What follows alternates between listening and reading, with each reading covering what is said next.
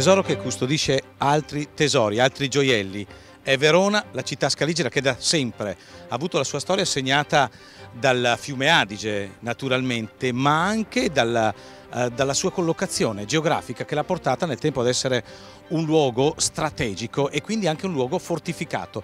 Le fortificazioni di Verona sono una storia di un gioiello a parte che nel tempo è stata riscoperta grazie anche al lavoro di associazioni come quella eh, di cui è collaboratore l'amico Enrico Scognamillo, che è un'associazione che cura l'architettura militare, o meglio la fa conoscere e noi oggi vogliamo dare spazio proprio a questo, a conoscere quei luoghi di Verona, citati anche da Scipione Maffei, che sono poco conosciuti ai veronesi, che raccontano di una storia bella, di una storia antica e che vengono piano piano piano recuperati e donati per, alla città. Noi ci proviamo oggi a visitarli, a partire, caro Enrico, da, da qui. Dal Bastione delle Maddalene. Dal Bastione, delle, Bastione Maddalene, delle Maddalene. No?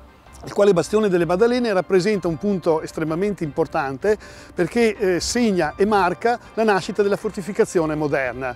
Eh, Verona si caratterizza proprio per la, la, sua pluralità di cinte magistrali, dall'originaria cinta romana del 48 a.C. che aveva uno sviluppo di soli 900 metri e racchiudeva un'area di 230.000 metri, all'ultima poi evoluzione fortificatoria per cui oggi possiamo registrare una cinta magistrale di ben 9 km di sviluppo e il solo sedime di insediamento della cinta corrisponde a oltre 1000 ettari. Gran parte Quindi... di questi luoghi oggi, o meglio, una parte di questi luoghi sono visitabili, sono fruibili alla città e ai turisti. Noi ci auguriamo che tutto diventi poi un grande parco, per così dire, che recupera l'architettura militare ma soprattutto la dona alla città. Assolutamente. Oggi visiteremo alcuni luoghi particolarmente emblematici, fra i quali, dopo aver visto il Bastione delle Maddalene, visiteremo le fortificazioni di San Giorgio con il grande, eh, Rivellino, eh, con il grande Rivellino e soprattutto con la galleria di controscarpa del Rivellino che è una delle opere più, eh, più qualificate di Franz von Scholl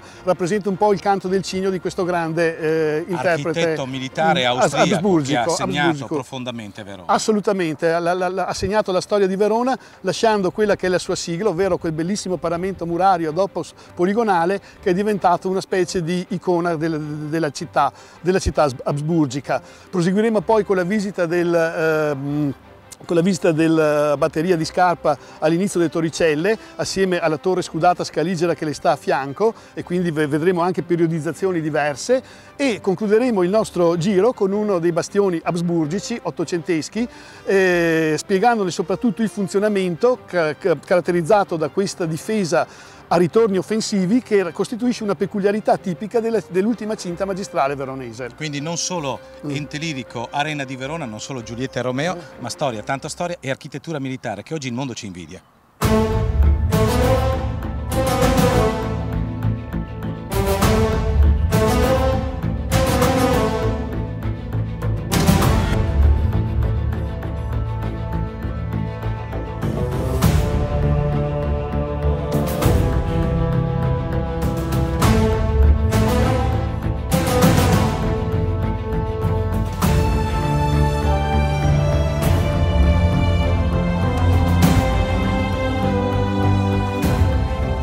Certo che è bellissimo oggi poter entrare in questo pezzo di storia che i veronesi conoscono anche poco e che spesso viene incrociato magari da presenze straniere, da chi viene da lontano, magari come eh, quelli che un tempo sono stati i costruttori di un'opera come questa, per esempio, che è il Bastione delle Maddalene, Enrico, no? Assolutamente Roberto, noi ci troviamo in un luogo carismatico della cinta magistrale, appunto come hai detto tu il Bastione delle Maddalene, dall'omonimo convento delle Maddalene qui vicino, bastione che eh, sancisce la nascita della fortificazione moderna. La cosa estremamente interessante, ed è il motivo per cui partiamo da qui, è che questo bastione appunto eh, marca e segna eh, come elemento di discrimine quella che era l'antico modo di fortificare dall'odierno modo di fortificare. L'antico modo di fortificare si sviluppava attraverso le cortine continue, rinforzate da bastioni quadrati o da bastioni rotondi, secondo la concezione di Vitruvio e del Dürer, e eh, con la nascita dell'artiglieria, eh, conseguita appunto alla scoperta della polvere da sparo, si era reso praticamente questo modo di, di, di fortificare, tra virgolette, obsoleto. Perché? Perché i tiri di fiancheggiamento lasciavano libero un enorme spazio sul fronte che non veniva coperto. È una rivoluzione a livello militare e architettonico. Assolutamente, è una rivoluzione eh, sia a livello militare che architettonico. Dapprima si è cercato di contenere la nascita dell'artiglieria rinforzando praticamente i bastioni, ampliandone, ampliandone l'estensione delle, delle, muraglie e dei terrapieni, ma si è visto che era insufficiente, bisognava che ci fosse un quid novi. Ecco che allora nel 1500, nel XVI secolo, vari autori, prevalentemente italiani, sviluppano questa nuova teoria delle fortificazioni, cioè la fortificazione pentagonale, il pentagono, il bastione caratterizzato da due fianchi, da due fianchi e da due facce. Quindi, eh, e questo diciamo, è, è, il primo esempio qui a Verona, ma possiamo dire anche uno dei primi esempi in assoluto della fortificazione bastionata moderna. Ci sono dei tratti che dicono espressamente della grande rivoluzione appunto nell'architettura militare portata avanti in quegli anni, no? Assolutamente, assolutamente. Noi qui eh, abbiamo avuto la fortuna di avere come operatore eh, il grande eh, Pier Francesco da Viterbo, architetto militare di eh, Francesco della Rovere, che era appunto il governatore delle armi venete, il quale eh, attraverso il punto nuovo di Castel San Felice introdusse questa nuova fortificazione, tant'è che eh, questa fortificazione Pier Francesco da Viterbo operò anche qui alle Maddalene, costruendo questo bastione che, i, cui, i, cui, lati, eh, i cui fianchi sono di 20 metri ciascuno, le facce di 47 metri e l'altezza in elevato era di 10 metri e, 40, e 40 centimetri, qualcosa del genere, più o meno come dimensioni e bastione che aveva peraltro eh, la parte superiore, cioè, eh, cioè le piazze basse, eh, erano scoperte, non coperte, mentre in Casamatta c'erano solo le postazioni diciamo, a livello del fossato. Quello che noi vediamo oggi, quello che possono sì. vedere i turisti che arrivano mm. qui, è naturalmente un insieme di architetture, arrivato da noi nel XXI secolo, dopo naturalmente la grande opera anche che hanno fatto a Verona gli austriaci. Certo, assolutamente sì. Nel 1839-1840 il grande Franz von Scholl eh, prende in mano questo bastione e lo ristruttura. Lo ristruttura con un principio di conservazione e quindi mantenendo diciamo, l'uniformità della struttura e semplicemente rendendola idonea a rispondere alle moderne esigenze di una piazzaforte che, come aveva teorizzato anche Radeschi, doveva essere non solo una piazzaforte difensiva, quindi solida e potente come difesa, ma anche predisposta per ritorni offensivi, cioè per consentire all'esercito austriaco delle sortite che potessero diciamo, ricacciare all'interno il nemico.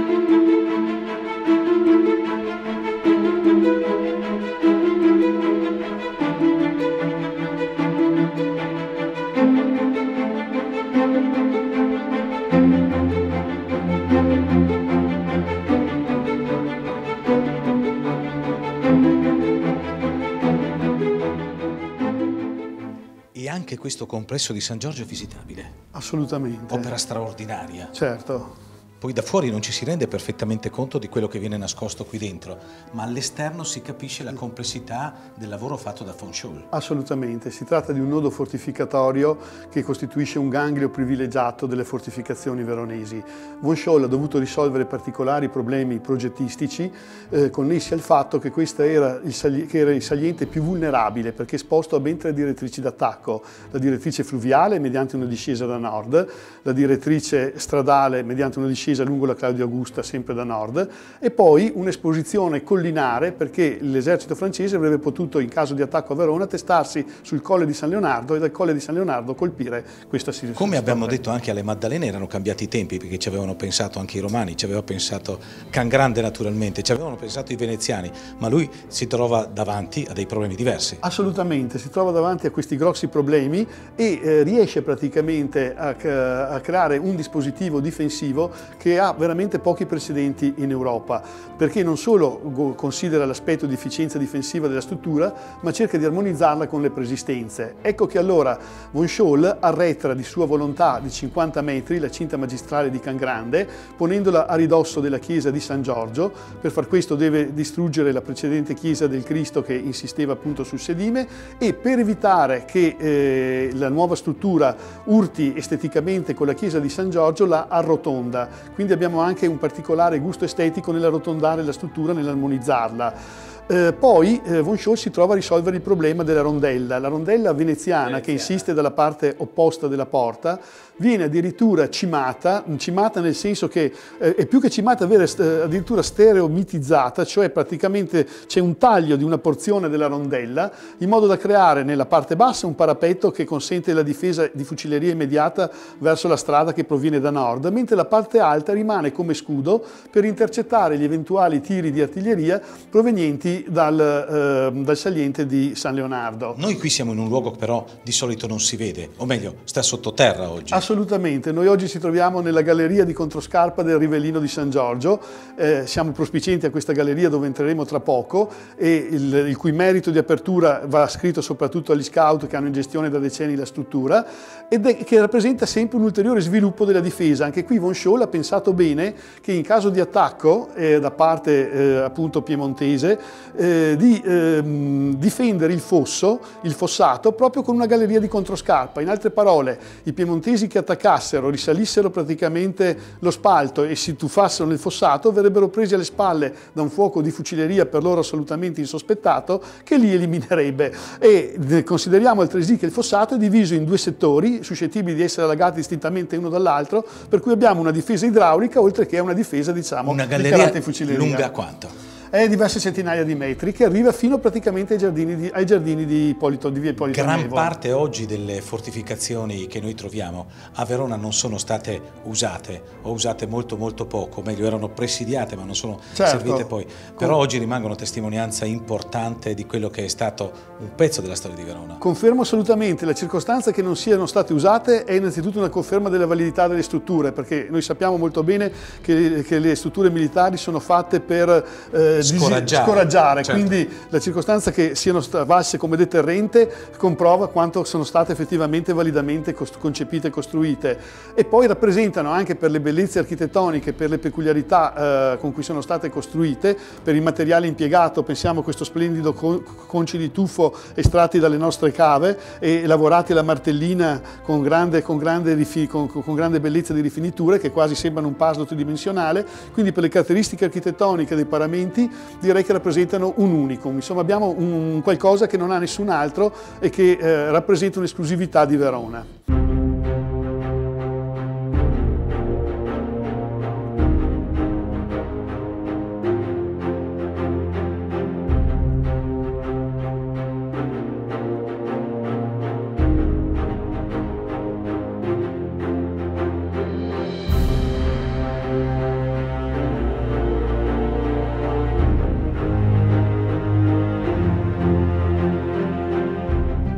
Dalle catacombe quasi di San Giorgio qui al bastione di San Bernardino.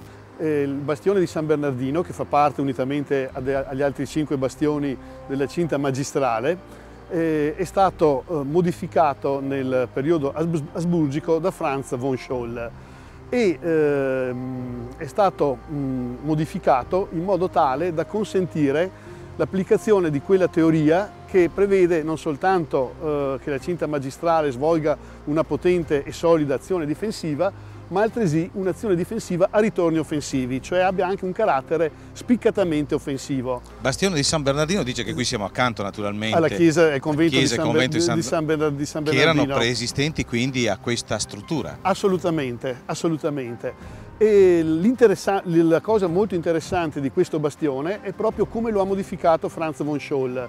Ehm, precedentemente qui c'era la cinta bastionata del 1530, quella san micheliana. I bastioni poi di San Michele erano stati fatti saltare da Napoleone nel, ai primi dell'Ottocento e c'era quindi un enorme ammasso di rovine. Gli austriaci, per eh, precludere la possibilità a un eventuale attaccante di passare in sinistra Adige, decisero di rifare la cinta magistrale di Verona e ne affidarono appunto l'incarico a Franz von Scholl. Franz von Scholl innanzitutto applicò un criterio conservativo. Lui eh, dove, eh, dove, era possibile mantenne diciamo, i monconi della cinta san micheliana che non erano stati fatti esplodere da Napoleone. E poi considerato che il recupero di questo materiale sarebbe stato estremamente oneroso perché la cinta sanmicheliana era formata da un conglomerato di ciottoli di fiume uniti da una malta molto tenace e quindi anche con l'esplosione della mina sarebbe stato pressoché impossibile recuperarne materiali, decise, decise di ricostruirla ex novo nello stesso sedime e eh, sviluppò una concezione molto particolare che è la concezione del bastione alla Carnot ovvero con, con il muro, il, il muro, la cortina muraria distaccata dal terrapieno, distaccata dal terrapieno in modo da consentire uh, un cammino di ronda proprio alla base del muro di una certa larghezza e, eh, e, quindi anche la difesa magistrale del fosso attraverso una serie ininterrotta di feritoie. Potremmo pensare anticamente ad una zona occupata da cannoni, non dico come questi che oggi sono qui a fare bella mostra per i turisti, però qualcosa del genere per quanto riguarda Venezia. Sì, sì, direi proprio di sì.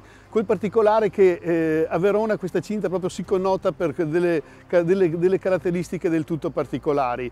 E innanzitutto l'enorme sviluppo, eh, sviluppo della cinta stessa che chiude tutta la destra Adige. Ognuno di questi sei bastioni era formato da un muro, un muro come possiamo poi vedere tutto quanto eh, pavimentato con l'opus poligonale, che era la sigla caratteristica di Von Scholl, e mh, questa, la, dalla cortina muraria partivano due fianchi di 34, la, di 34 metri circa ciascuno su cui si sviluppavano poi le facce le facce che andavano da 63 metri a 130 metri di, di lunghezza a seconda.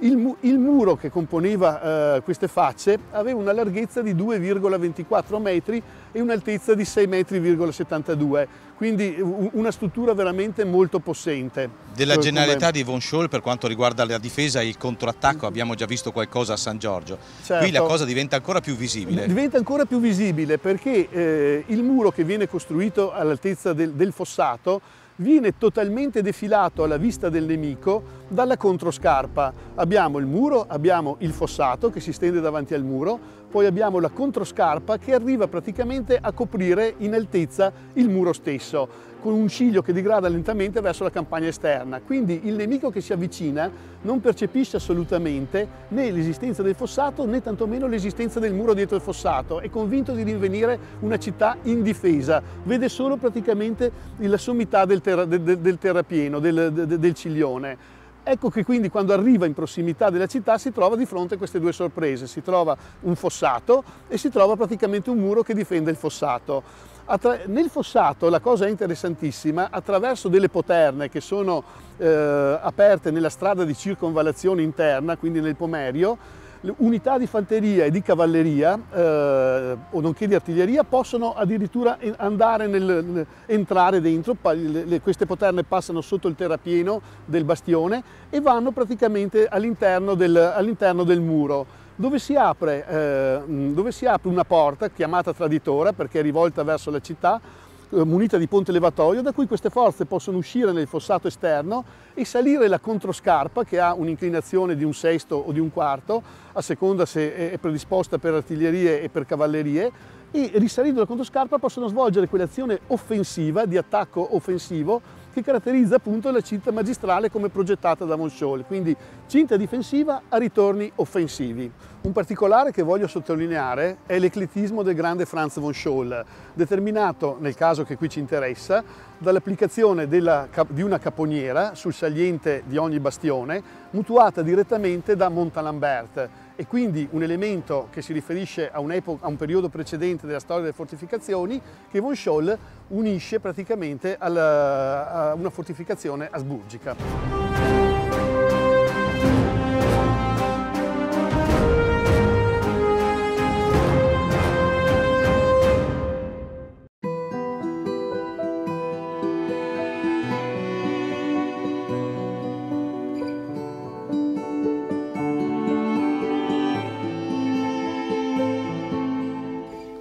Bel po' di tempo in più per vedere tutto quello che Verona, o meglio, quello che a Verona ha voluto dire l'epoca asburgica, non solo.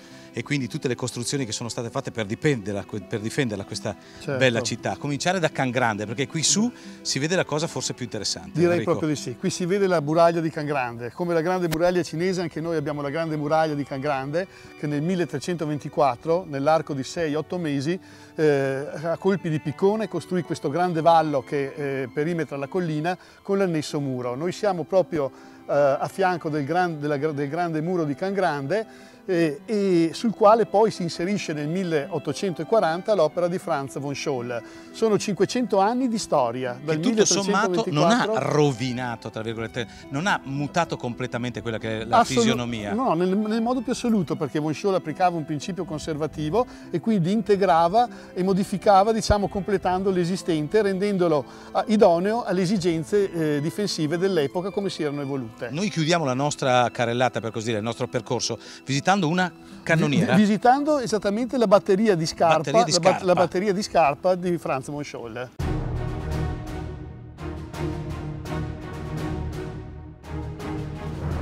Una batteria di scarpa che, come gli altri luoghi che abbiamo visto, caro Enrico, dice della bellezza, o meglio, del bello che caratterizza le fortificazioni, che è una cosa molto particolare e strana che troviamo qui a Verona, no? Assolutamente, assolutamente Roberto. Batteria di scarpa perché appunto eh, in- inserita sul ciglio che digrada verso la città, ovvero sulla scarpa, sulla scarpata. Torricelle, Eh, to- to- Verona. to- Torricelle, Verona. E struttura splendida, come risulta da, da uno sguardo, con- caratterizzata da un, pilo- da un pilastro centrale su cui eh, si, si inserisce una splendida volta toroidale, toroidale perché caratterizzata dalla doppia curvatura della volta medesima e del corridoio anulare su cui la volta gira, modulo che recupera praticamente la grande fortificazione medievale e eh, pensiamo al bastione delle Boccare, pensiamo al- alla rondella della Baccola del cinquecentesca e eh, può sembrare strano che von Scholl ricorra a un modello di fortificazione ritenuto da tanti obsoleto Sì, perché superato dalla, sì.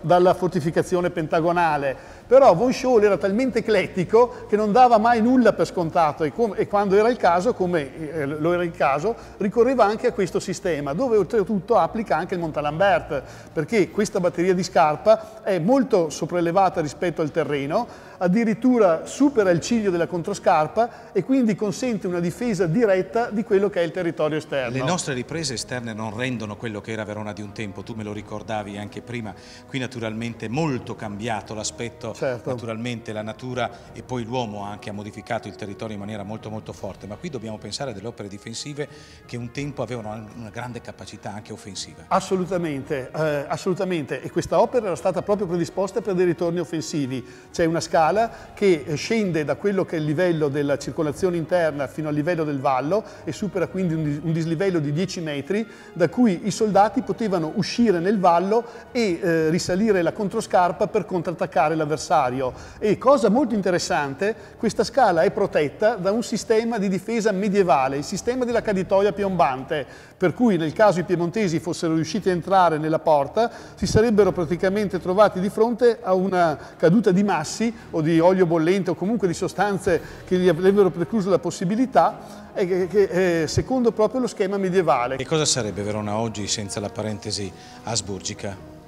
Beh, eh, sicuramente sarebbe una città eh, priva di una, eh, di una de- de- de- delle più belle delle sue componenti architettoniche, perché indubbiamente la, eh, l'architettura asburgica, l'architettura del round bogen stile, dello stile dell'arco tutto tondo, come venne eh, portata qui da Franz von Scholl, eh, è un'architettura a tutto tondo, un'architettura che nulla, che nulla diciamo, deve invidiare all'architettura delle grandi chiese, all'architettura dei palazzi nobili, un'architettura militare in virtù della quale Verona è stata riconosciuta città dell'UNESCO.